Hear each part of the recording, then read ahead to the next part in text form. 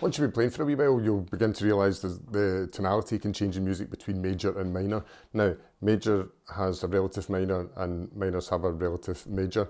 Uh, and the, the reason they've got that is because they share key signatures. Um, and what I'll do is I'd like to go into a bit of detail on how you can easily grab that information and uh, to, you know, to help you understand it a wee bit more. As usual, there'll be chapters uh, in the description below which you can jump about and just, you know, to find the bit of the video that maybe is more, more useful for yourself, all right? The tool that I use to, to you know, show students what the, the, the related major and minors are and the key signatures that they share are, is called the circle of fifths.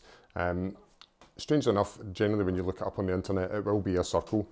Uh, and the, the fifth part is, you know, how the circle's actually laid out. What it does is it covers the information for all 12 keys. And as you go round the circle, if you go, it doesn't actually matter what direction you go in, uh, if you go clockwise or anti-clockwise, it moves in fifths.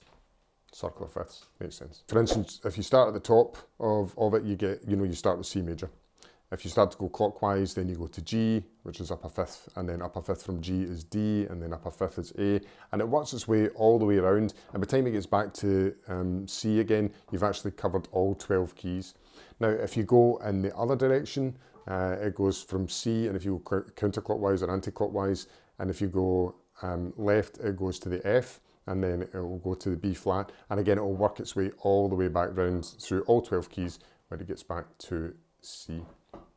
Just to go into a wee bit more detail, um, maybe some of you have, have, actually heard it called the circle of fourths. It really depends on what direction you go in the piano. So for example, if we start on C and we go up a fifth and we're going clockwise, we go to the G, which is a fifth up. And then if we go a fifth up again, we get to the D. And it continues all the way. I'll probably run out of keys. Anyway, um, it keeps on going up in fifths. However, if you decide that you want to go down the piano, then it changes to a circle of fourths. Um, where you go down a fourth, you get to the G. You go down a fourth, you get to the D. Fourth, you get to an A, and so it continues. Now, it doesn't really matter. Most people call it circle of fifths. If you prefer the number four, then, you know, by all means, fill your boots and actually use that instead.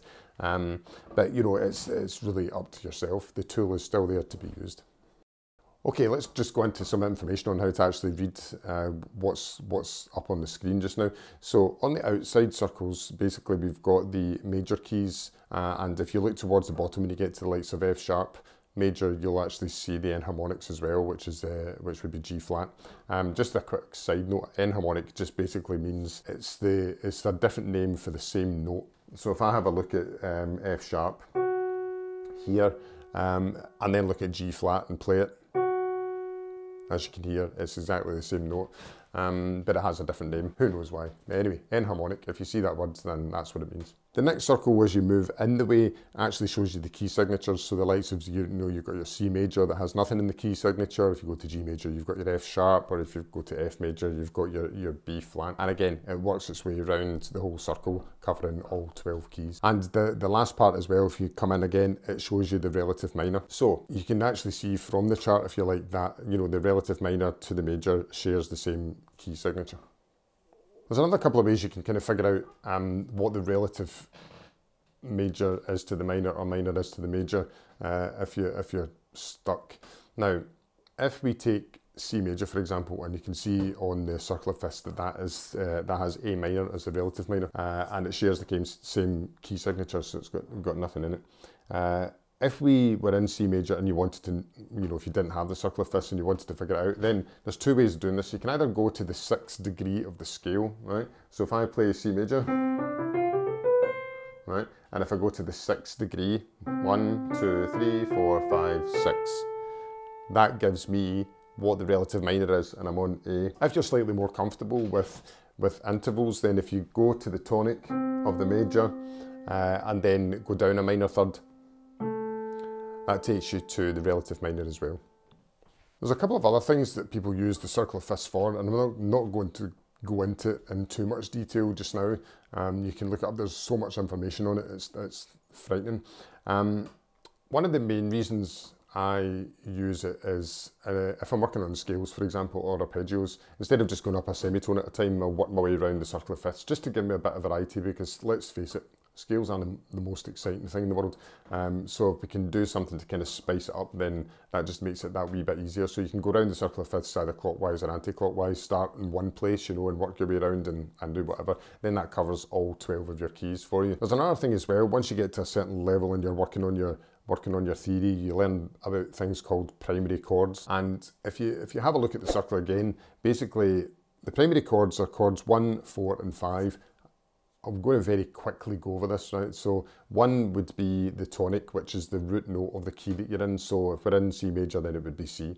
Chord four would be the fourth degree of the scale. One, two, three, four, which is F. And chord five would be the fifth degree of the scale. One, two, three, four, five, which is G, all right?